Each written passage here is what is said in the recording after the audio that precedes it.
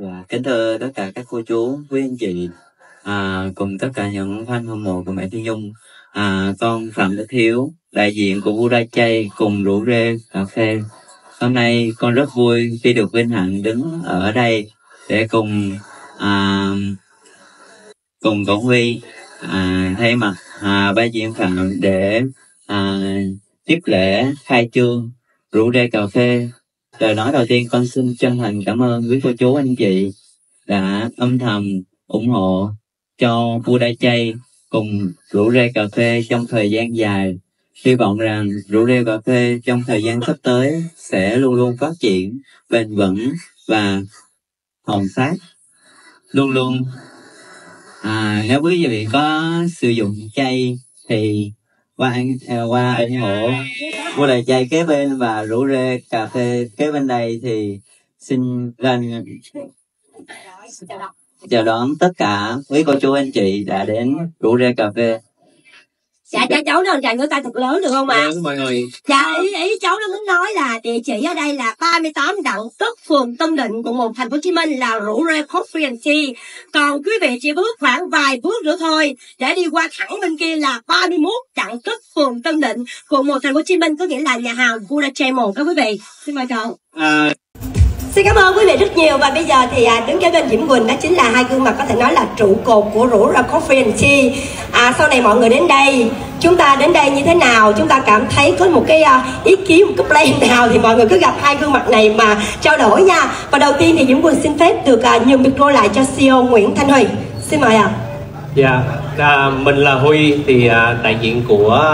Rủ Ri Cà phê và ngày hôm nay là Huy đã có mặt tại đây và à, đầu tiên thì à, Huy gửi lời à, chúc à, sức khỏe tới tất cả các bạn, các anh chị và à, các um, khách hàng đã đến để ủng hộ Rủ Ri Cà phê. Thì uh, quá trình của Rủ Ri Cà phê nó diễn ra hơi khá dài một chút xíu nhưng mà ngày hôm nay tất cả các uh, anh em trong uh, ekip của Buddha Chay cũng như là trong gia đình của Phi Nhung cũng đã có mặt và hiện diện tại đây là À, và ngày hôm nay là ngày đặc biệt để à, chúng ta cùng ra mắt rủ rê cà phê. Thì rủ rê cà phê uh, cũng đã cúng khai trương vào trước tháng 6 rồi. Và ngày hôm nay là cái ngày để chúng ta công bố với tất cả mọi người là rủ cà rủ rê cà phê đã xuất hiện trên uh, uh, tất cả các uh, phương tiện cũng như là à, chào đón tất cả những khách hàng đã đến với rủ rê cà phê. Và nhân tiện đây thì à, châu huy cảm ơn à, gia đình của phi nhung à, Buddha Chay tất cả các à, nhân viên trong Buddha Chay ban giám đốc. À, đặc biệt hơn nữa là Huy cảm ơn à, gia đình nhà Huy lúc nào cũng à, à, sẵn sàng để ủng hộ và động viên Huy trong tất cả mọi khó khăn. À, rồi à, à, cảm ơn những người đã đồng hành như là bạn Tuyền cũng như là tất cả các nhân viên trong Buddha Chay đã làm việc cực nhọc trong à, hai tuần vừa qua để tra- vừa training cũng như là vừa set up để cho hoàn thiện. Và à, cảm ơn à, đặc biệt là cảm ơn à, Diễm Phạm đã luôn à, ủng hộ và đồng hành cùng với lại rủ rê cà phê. Mặc dù rất là bận rộn nhưng mà lúc nào cũng à, à, chắc khe cũng như là chăm sóc và hỏi han tất cả mọi người. Cho nên là Huy uh, ngày hôm nay là một ngày đặc biệt muốn công bố cho tất cả mọi người và gửi lời cảm ơn tất cả những khách hàng. Và mọi thiếu sót thì uh, ở trong uh, à, quán thì lúc nào nó cũng có. Cho nên là tất cả mong rằng tất cả những khách hàng đến thì à, sẽ à, mọi sơ sót thì mọi khách hàng có thể bỏ qua và à, chúng tôi cũng sẽ à, ghi nhận và sẽ cố gắng phấn đấu để sửa chữa và hoàn thành hoàn thiện tốt hơn à, cho những à, thời gian sắp tới và hy vọng sẽ đón tiếp tất cả mọi người đến với rủ rê cà phê À, cảm ơn lời chia sẻ vừa rồi của à, CEO Nguyễn Thanh Huy. Và nữ ca sĩ Phi Nhung sẽ đại diện cho Diễm Phạm cùng bước lên trên đây với CEO Nguyễn Thanh Huy. Một tràng tay cùng chờ đón Phạm Đức Hiếu thưa quý vị.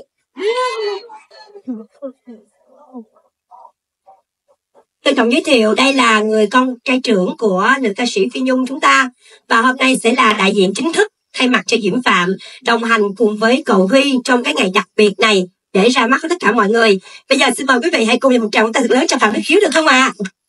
Rồi, con có đôi lời biểu với mọi người nha. Dạ, kính thưa tất cả các cô chú, quý anh chị, à, cùng tất cả những fan hâm mộ của mẹ Phi Nhung, à, con Phạm Đức Hiếu, đại diện của Buda Chay cùng rủ rê cà phê. Hôm nay con rất vui khi được vinh hạnh đứng ở đây để cùng à, cùng cậu Huy à, thay mặt à, Ba diễn phạm để à, tiếp lễ khai trương rượu đê cà phê. Lời nói đầu tiên con xin chân thành cảm ơn quý cô chú anh chị đã âm thầm ủng hộ cho Buddha Chay cùng rượu rê cà phê trong thời gian dài hy vọng rằng rượu rê cà phê trong thời gian sắp tới sẽ luôn luôn phát triển bền vững và hồng phát. Luôn luôn. À, nếu quý vị có sử dụng chay thì qua à, qua ủng hộ mua lời chay kế bên và rủ rê cà phê kế bên đây thì xin lên chào đón tất cả quý cô chú anh chị đã đến rủ rê cà phê dạ dạ cháu đơn tràng cho tay thật lớn được không ạ? Mọi người. Dạ à, ý, ý cháu nó muốn nói là địa chỉ ở đây là 38 đặng tức phường Tân Định quận một thành phố Hồ Chí Minh là rủ ra Coffee and Tea còn quý vị chỉ bước khoảng vài bước nữa thôi để đi qua thẳng bên kia là 31 đặng tức phường Tân Định quận một thành phố Hồ Chí Minh có nghĩa là nhà hàng Chay một đó quý vị. Xin mời cậu à, một điều đặc biệt là được sự đồng ý của nhà hàng Buddha Chay và rủ rê cà phê đã được collab cùng với nhau à, tất cả những à, khách hàng à, ăn tại à, đà Chay đến với à, Rủ rê coffee and tea sẽ được discount 30%. Wow, hay quá. Ủa, con trai Phi Nhung bất ngờ trở thành chủ một tiệm cà phê bậc nhất quận 1, không ngờ lại giỏi đến vậy. Thì chúng ta đã biết thì Đức Hiếu là con trai trưởng của Phi Nhung trong số những người con nuôi và Đức Hiếu sau khi mẹ Phi Nhung mất đi cũng đã gánh trên vai rất là nhiều trọng trách cũng như là trách nhiệm không chỉ đối với gia đình mà còn đối với các em và còn đối với truyền thông xã hội. Mọi phát ngôn của gia đình Phi Nhung đều được chính, Đức Hiếu thực hiện, cũng như là mọi quyết định liên quan đến vấn đề bản quyền hoặc những vấn đề liên quan đến sự nghiệp tại danh tiếng của Phi Nhung của gia đình thì đều được Đức Hiếu, được Đức Hiếu đảm nhiệm. Và trong khoảng thời gian này thì mọi người thấy rằng là cái sự trưởng thành rất lớn của Đức Hiếu. Nếu như trước đây, khi mà Phi Nhung còn sống thì Đức Hiếu sẽ đóng vai trò là lùi về phía sau để hỗ trợ mẹ cũng như là với cái việc học của mình. Thì Đức Hiếu cũng tham gia nhiều, nhưng mà sau khi Phi Nhung mất đi thì cái trọng trách của em tăng lên rất nhiều. Em không chỉ là lo việc là học tập cho bản thân mình, mà còn lo công việc cho các em, lo việc học tập cho các em và lo quán xuyến công việc kinh doanh của gia đình cùng với ba diễn phạm. Và mọi người tưởng rằng như đây là một cái trọng trách rất là lớn. Tuy nhiên là đối với Đức Hiếu thì em đã có những cái sự phát triển vượt bậc và cái sự thành công sau khi mà cái kỳ thi đại học vừa diễn ra. Trong lúc đợi cái điểm thi đại học thì Đức Hiếu đã cùng với lại cậu Huy là người họ hàng của Phi Nhung đã thực hiện một cái dự án rất là lớn, đó là mở một quán cà phê ngay trung tâm quận 1 và gần quán cà phê Buddha Chay của Phi Nhung ở số 1 Đặng Tất và theo như đó thì khi mà quán khán giả đến quán chay thì khán giả cũng có thể đến được cái quán này. Và cái sự ấn tượng rất lớn của tất cả khán giả cũng như là chắc chắn là những người trong gia đình đó là mặc dù còn nhỏ tuổi thôi, ở cái độ tuổi 17 18 khi mà Đức Hiếu